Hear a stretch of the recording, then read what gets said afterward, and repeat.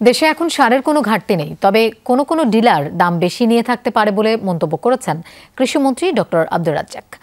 সকালে সচিবালয়ের কৃষি মন্ত্রণালয়ের সভাকক্ষে অনুষ্ঠিত সংবাদ সম্মেলনে তিনি এই মন্তব্য করেন। বলেন, মঙ্গলবার থেকে দেশে প্রথমবারের মতো অনুষ্ঠিত হতে যাচ্ছে জাতিসংঘের খাদ্য ও কৃষি সংস্থার চার দিনব্যাপী এশিয়া প্যাসিফিক আঞ্চলিক সম্মেলন।